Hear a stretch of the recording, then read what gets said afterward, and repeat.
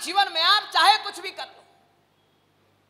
आप धन के पीछे भागो, आप परिवार के पीछे भागो, आप यश के पीछे भागो, आप नामना के पीछे भागो, आप कीर्ति के पीछे भागो, आप जीवन में चाहे कुछ भी कर लो, लेकिन हमारे शास्त्रकार भगवान कहते हैं कि तीन चीज़ आपकी डिस्टर्ब हो, ऐसा एक भी काम मत करना। आप अपने विवेक से तय करो कि आपको क्या करना जीवन में आपको कितना दौड़ना है, कितना भागना है, कहाँ तक पहुँचना है, पैसे के पीछे कितना समय लगाना है, परिवार के पीछे कितना समय लगाना है, धर्म के पीछे कितना समय लगाना है, गुरु के पीछे कितना समय लगाना है, मित्रों के पीछे कितना समय लगाना है, सगे स्नेही संबंधियों के पीछे कितना समय लगाना है। आप तय करो, आपका जीवन है, आप अपनी विवेक बुद्धि से निर्धारित करो कि जीवन में करना क्या है। लेकिन शास्त्रकार भगवंत कहते हैं कि चाहे कुछ भी हो जाए, तीन चीज़ें हमारी डिस्टर्ब नहीं होनी।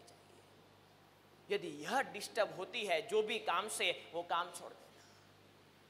क्योंकि ये तीन चीज़ों के इर्द गिर्द हमारा जीवन चलता है, ये तीन चीज़ों से हमारा जीवन बनता है, ये तीन चीज़ें हमारे जीवन को बिगाड़ती है तो यही तीन चीज़ें हमारे जीवन को सजाती हैं, सवारती है, और इसीलिए शास्त्रकार भगवान कहते हैं, आपकी मर्ज़ी है उतना दौड़ो। आप चाहो वो करो जीवन।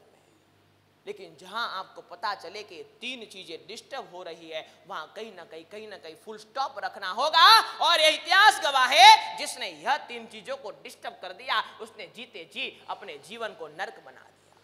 मैं तो कई बार कहता हूँ कि स्वर्ग और नरक तो बहुत दूर की बात है, हम चाहे तो यही जीवन को स्वर्ग बना सकते हैं, और यदि हम न समझे तो यही जीवन नरक बन जाता है।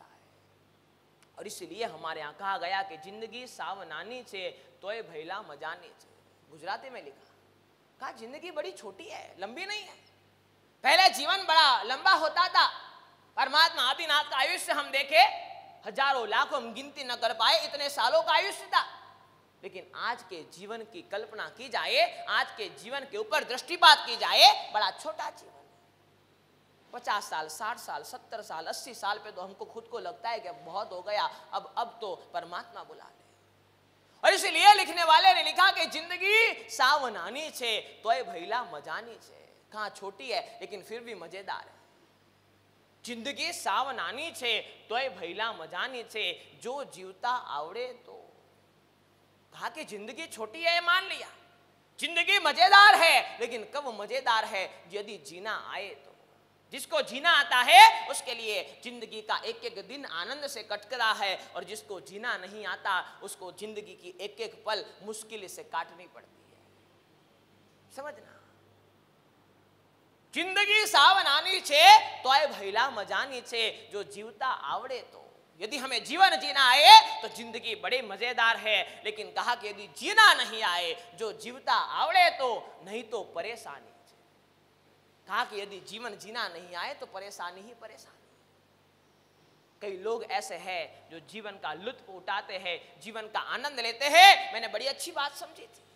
अच्छी अच्छी बात पढ़ी थी मैंने कि ज़िंदगी आइसक्रीम के जैसी है। आप लोग आइसक्रीम खाते हो? ना आइसक्रीम खाते हो, ज़िंदगी आइसक्रीम के जैसी है। हाथ में लेने के बाद खाओ या ना खाओ, पिघलना तो हम कुछ करेंगे ना करें जीवन खत्म तो होना ही है तो क्यों कुछ करके ना जाए? क्यों जीवन को आनंद के साथ ना बिताए? ये ज़िंदगी हमारी आइसक्रीम जैसी है। आप खाओ तो भी पिघलेगा और नहीं खाओगे तो भी पिघलेगा। जीवन में कुछ अच्छा करके जाओ तो भी जीवन खत्म होगा। और कुछ नहीं किया तो भी जीवन खत्म होना है। और इसीलिए मैं आपको कहना चाहता हूँ, जीवन में तीन चीज़ें डिस्टर्ब हो, ऐसा एक भी काम कभी मत करना। नंबर वन, पहली बात, मन की शांति डिस्टर्ब हो, ऐसा एक भी काम नहीं। आप चाहे उतना दौड़ो, भागो, आपकी मर्ज़ी आवे हो करो जीवन। आपकी विवेक, बुद्धि, आप समझदार हो, आप बुद्धि मानो आपको पता है क्या करना चाहिए, क्या ना करना चाहिए। आपके पास ज्ञान है, आपके पास समझ है, लेकिन आदमी वो समझ को अप्लाई नहीं कर पाता। ज्ञान तो आपके पास बड़ा है। बहुत ज्ञानी पंडित संसार में है। लेकिन शास्त्रकार भगवंतों ने कहा कि सही मायने में ज्ञानी कौन जो उसको अप्लाई कर पाए? जानने वाले तो बहुत है। इंफॉर्मेशन आपके पास बहुत है, लेकिन विजडम जिसको ज्ञान कहा जाए, जो आपके जीवन को बदल के रख दे, जो आपके जीवन में परिवर्तन ला दे, ऐसा ज्ञान शायद आपके पास नहीं है। और इसीलिए शास्त्रकार भूगोल ने कहा कि समझ लेना नंबर वन जहाँ मन की शांति डिस्टर्ब हो, ऐसा एक भी काम नहीं करना। दो क्राइटेरिया बताए कि हम कैसे चेक करें कि हमारा मन शांत है या नहीं। दो परीक्षाएँ बताइए कहा, आप सोने जाओ। दो पाँच मिनट में नींद आ जाए तो समझना मन शांत है। और आप धर्म करने बैठो। बिना डिस्टरबेंस के धर्म कर पाओ तो समझ लेना मन शांत कहा, कई क्राइटेरिया हो सकते हैं, लेकिन मुख्यतया देखा जाए तो ये दो क्राइटेरिया है। जब जब मन हमारा अशांत होता है, सबसे पहली यदि कोई चीज़ डिस्टर्ब होती है, वो हमारी नींद होती आज से पचास सौ साल पहले हम सुनते नहीं थे कि नींद के लिए भी गोली लेनी पड़ती थी। रात को आठ बजते थे, नौ बजते थे, आदमी बिस्तर में जाता था, लंबा होता था, सो जाता था। पूरे दिन की थकान, पूरे दिन का काम, पूरे दिन का व्यवहार, व्यापार, परिवार को संभालना, थोड़ा बहुत तप, त्याग, धर्म की आराधना, सब मिला करके उसका जीवन बड़ा शांति से चलता था। और इसलिए जब अभी बिस्तर में जाता था, शांति से छोटे बच्चे की तरह सो जाता था। हमारे यहाँ कहा गया कि नींद कैसी हो, छोटे बच्चे जैसी। और आज सबसे बड़ा घात यदि आपकी शांति की वजह से आपके जीवन के ऊपर हुआ है, वो आपकी नींद के ऊपर हुआ है। आज हज़ारों नहीं, लाखों लोग संसार में ऐसे हैं, मैं कहता हूँ करोड़ों लोग संसार में ऐसे हैं, जो शायद नींद के लिए गोली लेनी पड़ती होगी, नींद ना आती। कहा कि मन की शांति डिस्टर्ब हो आप व्यापार करो, आप पैसा कमाओ, आप भागो, हर चीज़ करो। शास्त्रकार भगवान कहते हैं, कोई दिक्कत नहीं, लेकिन जहाँ पर लगे कि मन अशांत हो रहा है, मन की असमाधि बन रही है, मन में कहीं ना कहीं डिस्टर्बेंस आ रहा है, हमारे यहाँ तो यहाँ तक लिखा गया कि संसार में कोई चीज़ को नहीं संभालेगा तो चलेगा, लेकिन मन को संभाल लेगा तो सब संभाल लेगा और इसीलिए हमारे यहाँ कहा कि एक साधे सब सधे, सब साधे, सब जागे कहा ये एक क्या है? मन है। मन को संभाले, वो डिस्टर्ब नहीं होना चाहिए। इसीलिए कहा कि पहली चीज़, आप चाहते हो कि आपका जीवन अच्छा चले, आपके जीवन में सुख, शांति, समाधि बनी रहे। तीन चीज़ें डिस्टर्ब हो, ऐसा एक भी काम जीवन में न करे। पहला, मन की शांति डिस्टर्ब हो, ऐसा कुछ नहीं पहला आघात मन का होता है नींद के ऊपर। और दूसरा आघात मन का होता है धर्म क्रियाओं आज निन्यानवे प्रतिशत लोगों की यह शिकायत है। महाराज साहब माला गिनते हैं तो मन मन नहीं लगता। 99 प्रतिशत लोगों की यह शिकायत है। महाराज साहब मंत्र जाप करते हैं, नौकार मंत्र गिनते हैं, गुरु भगवंत ने बड़े भाव से, बड़े प्यार से बड़ा सिद्ध मंत्र दिया है, लेकिन उसका रिज़ल्ट नहीं मिलता, नहीं मिलेगा जब तक मन नहीं जुड़ेगा जहाँ जहाँ धर्म करते करते मन में डिस्टर्बेंस आता हो, मन डिस्टर्ब होता हो, समझ लेना, कहीं ना कहीं मन की अशांति हो जाए, ऐसे काम हमने किए हैं। इसीलिए शास्त्रकार भगवत ने कहा कि समझ लेना, मन की शांति डिस्टर्ब हो, ऐसा एक भी काम नहीं दूसरी बात, कहा कि शरीर की स्वस्थता डिस्टर्ब हो, ऐसा एक भी काम नहीं जहाँ आपका शरीर बिगड़े जहाँ हमें पता चल रहा हो कि हमारा शरीर बिगड़ रहा है, हमारा शरीर खराब हो रहा है, हमारा शरीर बर्बादी की ओर आगे बढ़ रहा है और एक व्यसन ऐसा है जो आपके शरीर को खत्म कर देता है। आपको पता है, जब कोई भी व्यक्ति तम्बाकू की कोई भी प्रोडक्ट लेता है, पहले तो छोटे अक्षरों में लिखा जाता था लेकिन आज सरकार ने नियम बना दिए हैं 50 percent sixty percent seventy five percent तक हिस्से में ये लिखा जाता है कि तंबाकू से कर्क रोग होता है, कैंसर होता है। मैं आपको कहता हूँ कि आप आत्मा की फ़िक्र न करो, कोई बात नहीं। पर जो ये महामूला शरीर मिला है, उसको तो संभाल लो। आत्मा के राग द्वेष को छोड़ो, आत्मा के सदगुण दुर्गुणों को साइड में रखो। मैं कहता हूँ, इतना तय कर लो, जीवन में शरीर बिगड़े ऐसा एक भी काम ना करेंगे, कम से कम शरीर को तो संभालेंगे। जो शरीर से धर्म आराधना हो सकती है, जो शरीर से तप त्याग हो सकता है, जो शरीर से हम परमात्मा की भक्ति कर सकते हैं, जो शरीर से गुरु की वैयावज हो सकती है, जो शरीर हमें धर्म के क्षेत्र में आगे बढ़ा सकता है, जो शरीर हमारे जीवन को सुलभ बना सकता है, हमारे जीवन को सरल बना सकता है, वो शरीर को तो कम से कम संभाल लो।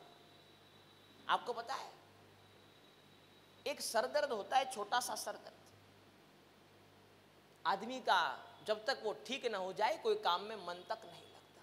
ये शरीर की ताकत है।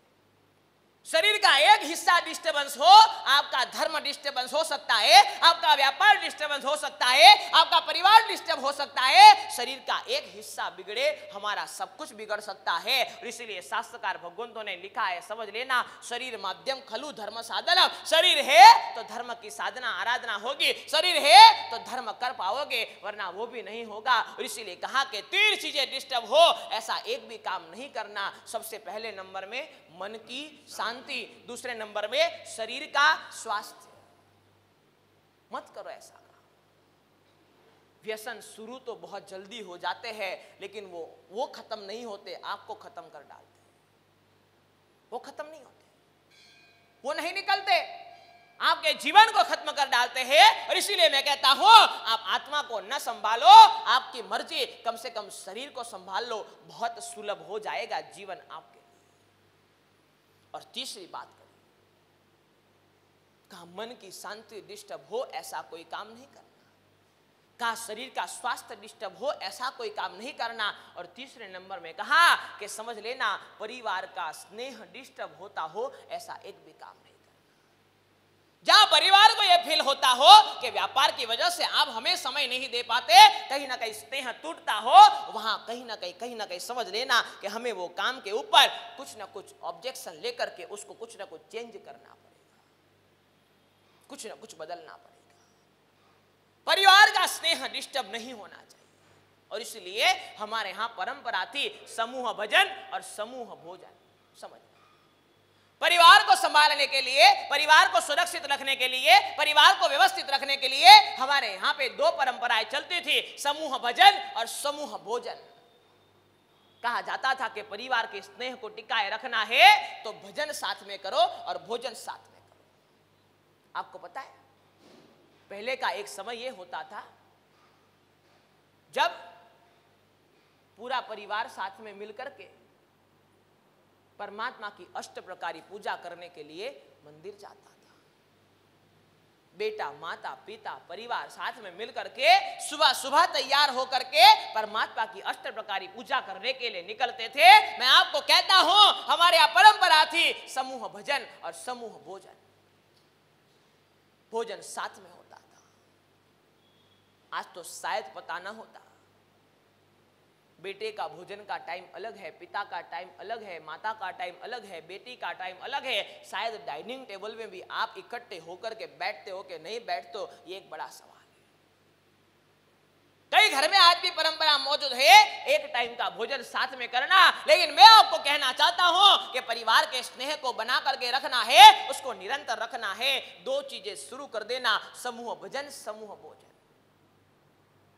हफ़्ते में आप रोज नहीं जा सकते, कोई बात नहीं। हफ़्ते में एक दिन ऐसा बनाओ कि परिवार साथ में मिलकर के परमात्मा के समीप जाएगा, परमात्मा के पास जाएगा, परमात्मा की भक्ति करने के लिए जाएगा। हफ़्ते में एक दिन ऐसा बनाओ जहाँ हम परमात्मा के साथ साथ गुरु को वंदन करने के लिए भी परिवार के साथ जाए।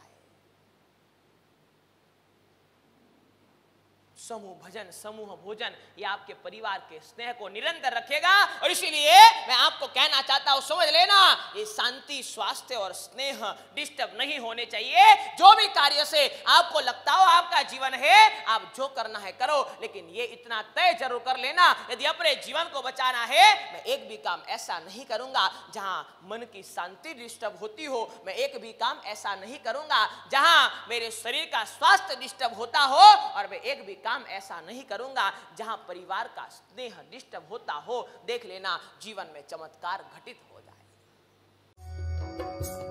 प्रेम भक्ति, आराधना, प्रवचन के अद्भुत संगम से जुड़ने के लिए सब्सक्राइब करें गुरु प्रेम मिशन की यूट्यूब चैनल को और ताज़ा अपडेट के लिए बेल आइकन पर क्लिक करना ना भूलें।